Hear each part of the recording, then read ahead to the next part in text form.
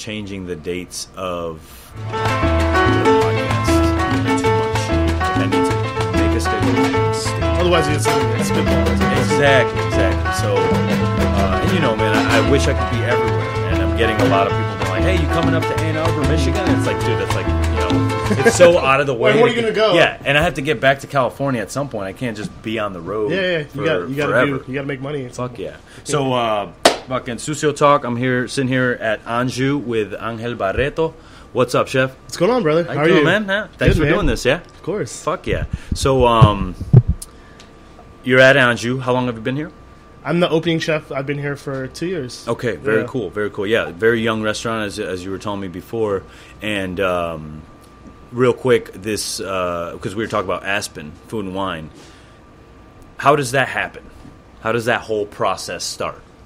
Um, so Kush, who's the editor of Food and Wine, she Okay. basically travels around the country Heard. on recommendations from past winners of Food and Wine, other chefs and editors of restaurants and places to check out. Um, so she she goes everywhere. She traveled to Ann Arbor, Michigan. She basically tries to go to as many restaurants and places as possible. Yeah, I read creates- an article she wrote about that. Yeah, she creates like a yeah. short list of places, and I was actually lucky enough that Anju was one of the places that she chose. Heard that. I wasn't even here the night she was here. I knew she was coming in town, and she's like, "Hey, I'll be coming into DC," and I was like, "Okay." she Like, lets you know. She's just letting me know that she's going to be in DC in the area. She was like, because I've talked to her before just to see, hang out with her, you know, and just talk. Because I've always missed her every single time she's come here. Got you. Um, but I didn't know the night she's going to come. But she just let me know. It's like, hey, I'll be in DC if you want to, you know, meet up or talk. Yeah, yeah. Um, but it never worked out because I was was my day off, and I'm very strict about my time off. Fuck yeah. it was my time off. That's what you need to do. Um, so, but this was not her first time. This is uh, like the second or third time she's been to the restaurant. Um, so I think at that point she already kind of made up her decision to kind of put us on the list.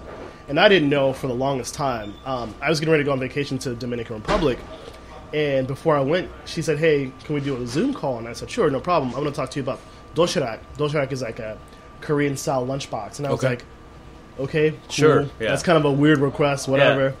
Uh, so we go on the Zoom call, and she's like, "Hey, I don't, we're no, I don't want to talk about doshirak with you." And I was like, "Okay, what do you want to talk about?" And she's like, "I just want to let you know you've been named Food and Wine one of the best new chefs in America." And I was just like, Holy fucking Yeah. shit. "Yeah, Yeah. I, I didn't know how to react, and I'm like trying to control myself a little bit. I'm like, it's a huge surprise because for me, I never think about anything we do here in the prospect of getting accolades. It's just in the prospect of propelling the food and the message of what we're trying to do here. Yeah. So anytime we get any recognition, I think that's fantastic. That's great, but it's always such a huge surprise. So I was just immensely shocked. I never in a million years in all my years of a career thought I would be here Yeah. or anything that happened in this restaurant's happened. Yeah. And I bet your your mother's Puerto Rican.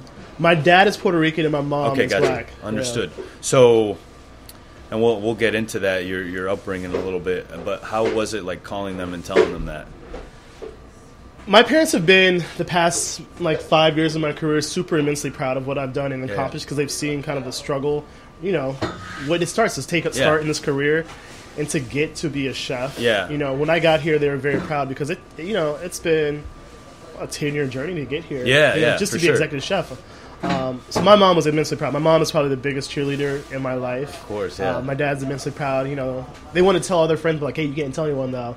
You know, they end up telling everyone anyway. Like I went to go see some family friends. They're Yeah, they're like- "Hey, your dad told me you you Yeah, won of this." I'm course like, he did. I'm like, Jesus Christ! I told these did. people not to tell Yeah, anyone. nope. I was like, you can't keep secrets. No, you don't tell your family if you want to keep a secret, bro. so they were they were very everyone. very proud. dope, man. Yeah. That's so dope. Um, so let's go back. Let's go all the way back. Where were you born? I was born in upstate New York in a town called Watertown, about two hours from Canada. Oh shit! Yeah. All right. So right, did you did you go to Canada a lot? No, a so kid? we were. My dad was. My, both my parents were military. so Yeah. people pre-bases. So I was born at a military base in Watertown, New York. Oh no shit. Okay. Um, so I was born there basically, and I only lived there for like maybe the first two years of my life, and then we moved because we were military. Moved basically every two three years Mm-hmm. because of my dad's job. heard that. Heard yeah. that. Okay. Um, and what did your what did your mother do? My mom originally was also in the military. That's how they met. Both Okay. my parents met in Germany. Um, my mom was an engineer in the army, and then my dad was also in the army. Um, they met in Germany, and then once they got married, my mom retired for basically she retired. She didn't work anymore. She stayed at home. Yeah. Um, when we moved to Seattle, she started working again. Um, but once we moved back to South Carolina, she stopped working. And then my dad, once we moved here, he got a permanent job at the White House. So he was at the White House from the Clinton administration all the way up until the Obama administration. So he actually retired on Air Force One. So we got to ride on. Air Force One to Chicago. Dope. And the president came out and gave like my dad a cake for his retirement. Stuff. Yeah. So it was like a really kind of weird and surreal upbringing. Yeah. Because like I would go to the White House for Christmas parties. Boricuas in the White House, baby. I like that. It was, it was crazy. it was awesome. that. That's cool, man. So, uh, was he security? I'm, I'm guessing. No, my dad did. Uh, it's called White House Transportation. It's Okay. called Carpet. So he was uh, one of the people in charge of logistics. So what does it take for Air Force One, um, Secret Service, and everyone to go to Tanzania? You know, so they would do advanced scouting trips for hotels and all the security stuff. So he was always part of that stuff. So it was really, really cool. So he had a very so close relationship with the president, with the president's team, with you know White House photographers. Yeah. So it was always really cool when I would go to the White House because like everyone kind of knew my dad. Yeah. And, you know, and they knew him, so it was really cool. Like when we went to the White House to see the Bushes, you know, I got to meet Laura and Jenna and their parents, uh, and they knew us. When we went to meet the Obamas, it was the same thing. And the crazy part is, like every single president that I've met from Clinton, they're not really like the, how they see him on TV. Yeah. They're very personal and very nice. Of course. The most engaging were probably the Obamas. You know, Michelle Obama would come like, "Hey, how's college? How's this? How's that?" and ask questions. You know, she genuinely really cared. Yeah. so it was really super awesome. Well, that's badass. This is like in your phone. It's like, Yeah. That's pretty fucking. You know, like cool, I went dude. to a, I, I used to go to like carnivals on the White House grounds and Yeah. Easter egg rolls. We would have Christmas dinner at the White House and stuff. So it was pretty cool. Yeah, I guess uh, when you're the child of a president, like you know, speaking about that, they probably don't get to go anywhere they want, you know, all Yeah. the time. It's just security. That's so cool, man. Hell yeah. Yeah. So early in life, like, uh, what were you eating? What was what a little bit of like? everything because, I, like I said, I was very lucky because my parents were in the military, so my mom traveled a lot. My mom lived in Korea, my dad lived in Korea, my mom lived in Germany, um, and I was very fortunate to kind of have a, a diverse upbringing in food because my Yeah. mom was super inquisitive when it came to food. My mom cooked Korean food at home, and she would try to make sushi and look at all these recipes and always try to cook food. My mom was taught Puerto Rican food from my grandmother. Yeah. she's like the only one in our family who actually cooks Puerto Rican food. Okay. so like we have pasteles and pastelón, Yeah. and all that stuff. My Well, if you're gonna make. marry a Puerto Rican, that's basically the only rules. like, Exactly, you just gotta be able to make rice and beans every day. and that was like huge for my dad because you know his family lived in Chicago at the time like we were living in South Carolina and we were always traveling we were so far from family you couldn't get those comfort things uh, so my mom would make that at home and that became like a regular thing in our, our family having Puerto Rican food for you know Christmas and, Yeah. and Thanksgiving Pernil, having- con gandule, all that shit. so that was really cool. Um, and the great thing also was my mom, um, her family were sharecroppers. So my mom grew up on a farm. So my mom knew how to do canning, um, all that stuff. She was taught from her grandmother because my mom grew up in New York also. Yeah.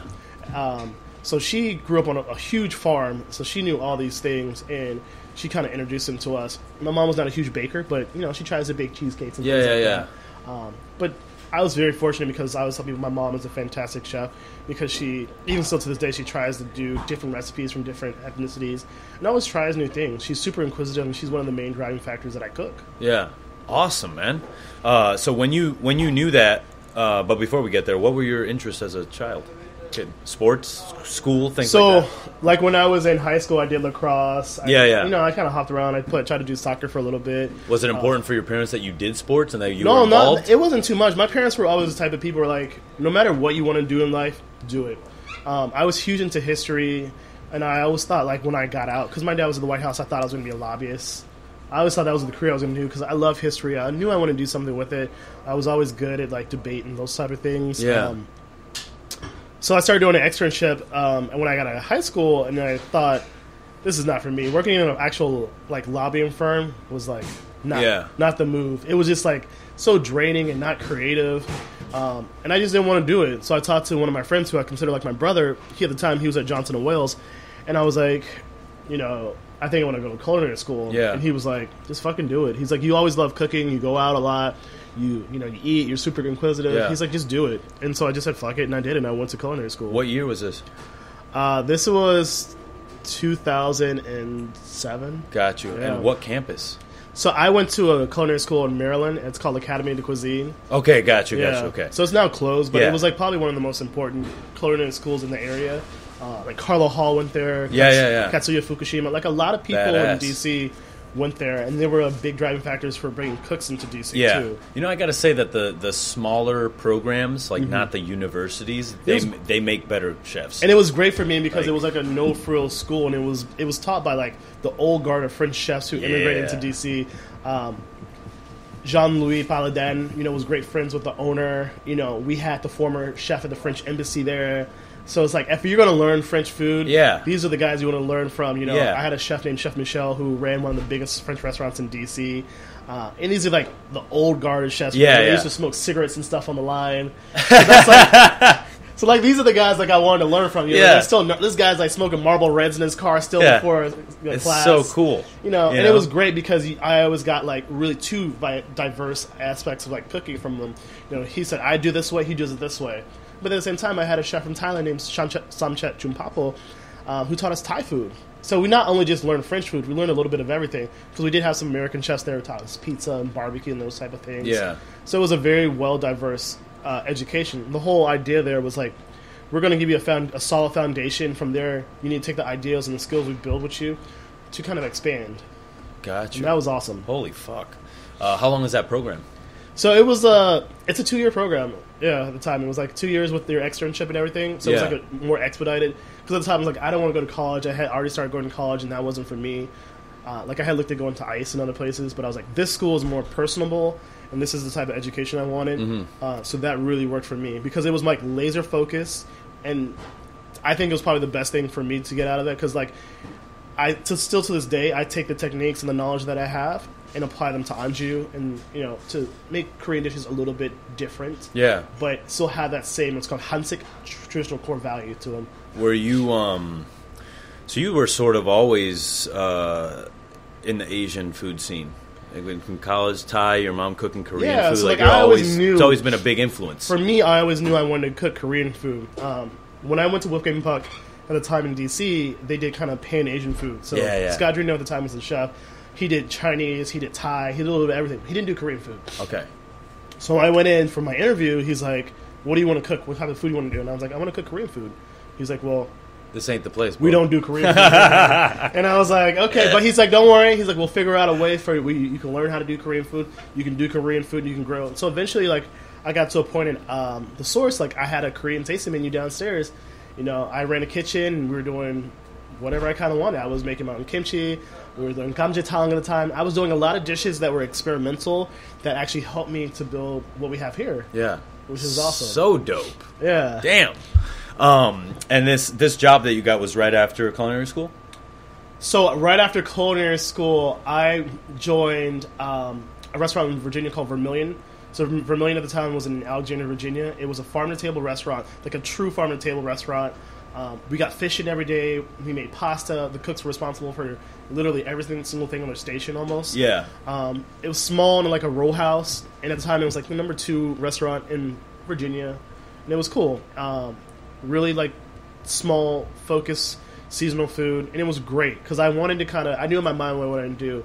I wanted to work in a small restaurant. I wanted to work in a big restaurant, in a medium sized restaurant, and see where I kind of fit in. Where do I thrive? What makes it you know what makes sense to me as a chef, or the chef I want to be as a cook. So I was going to hit up three types of places. Uh, so that was the first place. I went to Vermilion, and that was great. And then I went to the Source, and the Source at the time was insane. You know, you had Scott had won like every award in DC at the time. When I went in, we had two sushi chefs working every single night. We had two chefs working wok. We had a full dim sum station. We had um, a fish, a huge fish station. Uh, we had a huge grill station that did Peking duck and all this like really Yeah. crazy stuff. And I loved it because it was so vibrant and there were so many things going on in the restaurant. And I was like, "Well, this is super cool. I've never seen a restaurant kind of like this. It felt like you're almost like in like mini Hong Kong, you know? Yeah. Because there's just like so much going on. It was busy. They were doing like 200 covers every single night. There was an upstairs, a downstairs. They had a huge pastry team. Yeah. And I was like, maybe I want to do this. I want to learn how to work wok. Yeah. And I end up staying there for six years. Oh, whoa. Yeah. Gotcha. So you really got everything out yeah, so I worked my way up. I worked my way up from a cook to sous chef to executive sous chef. Yeah. Yeah, there's there's like two ways you could do it. It's either like one year at a restaurant for many years Yeah. or like three restaurants for many years. Yeah, like You I fell in love with like the ethos and the culture there for a while. You know, you get kind of indoctrinated when you go into like big systems like that. I think. Yeah, you do. And so like I got kind of sucked into it. And Well, they the know how to give you incentives. Yeah, and that You was